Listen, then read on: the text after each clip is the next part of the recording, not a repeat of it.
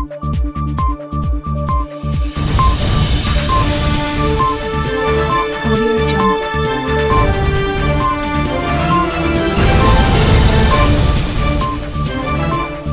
మరియు మన ఆలయాలు సంయుక్తంగా నిర్వహిస్తున్న ఈ ప్రోగ్రామ్ని నన్ను ఆహ్వానించినందుకు నేను చాలా హ్యాపీగా ఫీల్ అవుతున్నాను.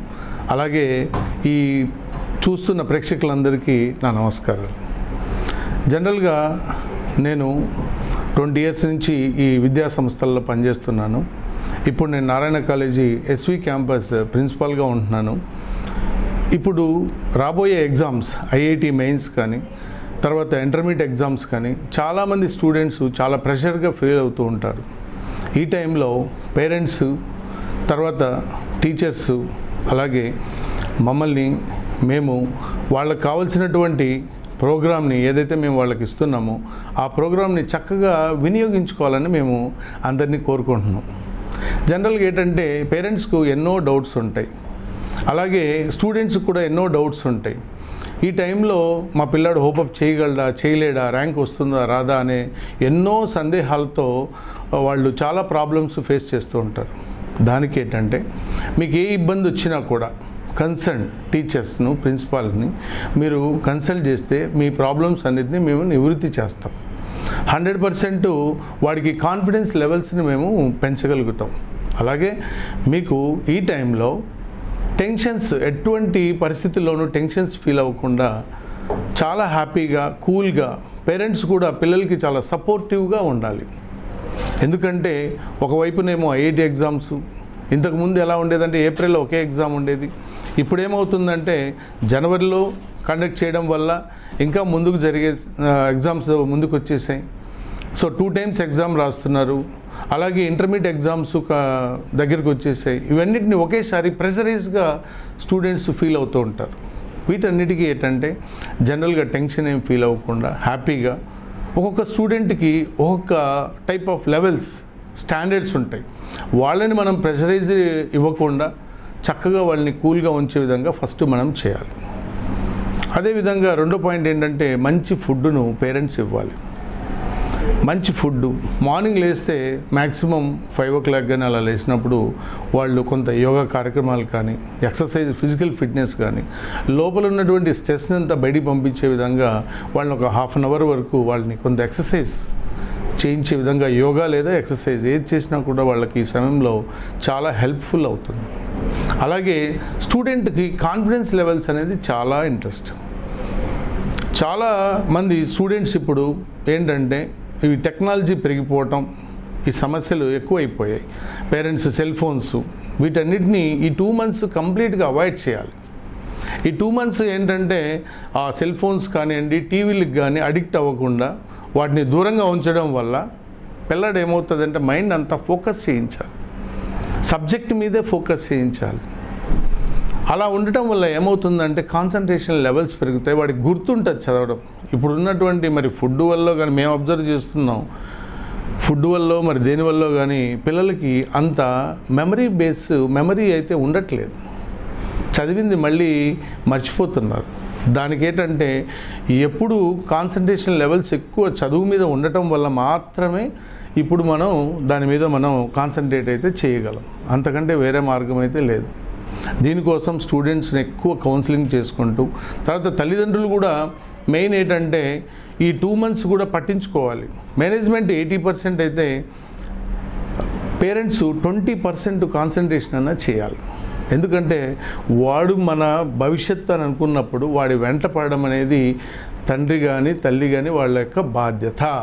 ఇది హండ్రెడ్ పర్సెంట్ పాటించాల్సిందే ఏ ప్రాబ్లం ఉన్నా వాడిని వెంటబడి వాడికి ఏం ప్రాబ్లం ఉంది ఎక్కడ వీక్గా ఫీల్ అవుతున్నాడు వాడిని ఎలా స్ట్రాంగ్ చేయాలి అనేది కన్సర్న్డ్ టీచర్స్ని కానీ అక్కడ ఉన్నటువంటి మేనేజ్మెంట్ని కానీ ప్రిన్సిపల్ని కానీ అడగడం వల్ల హండ్రెడ్ పర్సెంట్ సక్సెస్ అనేది ఎక్కువగా ఉంటుంది.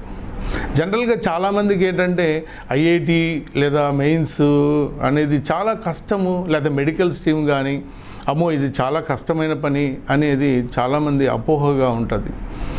నారాయణ విద్యా సంస్థల్లో మెయిన్ సక్సెస్ అవ్వడానికి రీజన్ ఏంటంటే అకాడమిక్ ప్రోగ్రామ్ అకాడమిక్ షెడ్యూల్ అనేది చాలా పర్ఫెక్ట్గా జరుగుతుంది. దీన్ని కన్నా మీరు ఫాలో అవ్వగలిగితే హండ్రెడ్ పర్సెంట్ సక్సెస్ అవుతుంది.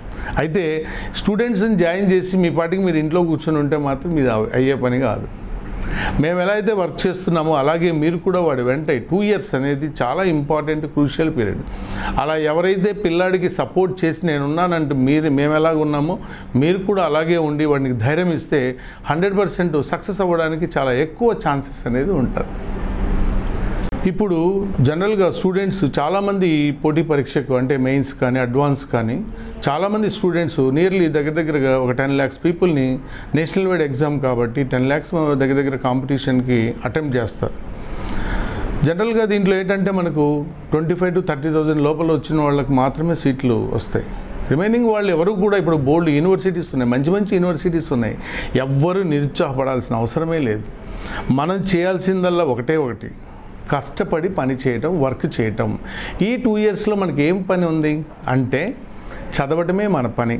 సో కాబట్టి మీరు అది నాకు సీటు వస్తుందా లేదా ర్యాంక్ వస్తుందా లేదా నేను మంచి కాలేజీలో జాయిన్ అవుతానా లేదా అనేది పక్కన పెట్టేసి మనం ఏం చేయాలి అంటే మనం చేయాల్సిందల్లా హార్డ్ వర్క్ చేయటం చదువు మీద కాన్సన్ట్రేట్ చేయటం వాటి మీద ఫోకస్ చేయటం నేర్చుకున్నది మనకు గుర్తుందా లేదా అనేది చెక్ చేసుకోవడం. ఈ మూడు పాయింట్లను మీరు టచ్ చేసుకుంటూ వెళ్తూ ఉంటే మీరు అనుకున్న టార్గెట్కు హండ్రెడ్ పర్సెంట్ రీచ్ అవుతారు. అంతే తప్ప భయపడిపోయి నిరుత్సాహపడిపోయి అమ్మో నాకు ర్యాంక్ రాలేదు. ఎస్ మనం కష్టపడ్డాం. ఆ కాన్ఫిడెన్స్ నీలో ఉంటుంది మీ పేరెంట్కి కూడా తెలుస్తుంది. అంతేగాని మీరు భయపడిపోయి నిరుత్సాహపడిపోయి నాకు ర్యాంక్ రాకపోతే ఇంకేం లేదు. ప్రపంచంలో ఏం లేదు సొసైటీలో ఏం లేదు అనుకోవాల్సిన అవసరమే లేదు. ఈరోజు ఎవరైతే కష్టపడతారో వాళ్ళు ఎక్కడైనా ఎప్పుడైనా సక్సెస్ అనేది హండ్రెడ్ పర్సెంట్ రీచ్ అవుతుంది. దానికి నేనే ద బెస్ట్ ఎగ్జాంపుల్. మేము కూడా మా పేరెంట్స్ కానీ వాళ్ళు చాలా పూర్ ఫ్యామిలీస్ నుంచి బయటకు వచ్చారు. వాళ్ళు ఎంతో కష్టపడి చదివించారు. అప్పుడు వాళ్ళు చెప్పినప్పుడు కానీ మేము కన్నా బాగా చదివి అంటే ఇంకా సూపర్ పొజిషన్లో ఉండేవాళ్ళం. అయినా మేము అలాగే వాళ్ళ పేరెంట్కి ఏం కావాలో మనం స్టూడెంట్ ఎప్పుడైతే తెలుసుకుంటాడో హండ్రెడ్ పర్సెంట్ సక్సెస్ అవుతాడు. స్టూడెంట్ ఎంతూజియాజం ఏముంది? ఒక పే స్టూడెంట్గా నేనేం చెప్తున్నా అంటే ఒక పేరెంట్గా స్టూడెంట్ ఆలోచించాలి. నా తల్లిదండ్రులు ఏం కోరుకుంటున్నారు నా నుంచి? నా నుంచి నా తల్లిదండ్రులు ఏం కోరుకుంటున్నారో వాళ్ళకి నేను సాక్రిఫైస్ చేయి. సి హండ్రెడ్ పర్సెంట్ సక్సెస్ అవ్వాలనే భావన నీలో ఉంటే నీలో సక్సెస్కు ఎనుకు అడుగు అనేది ఉండదు.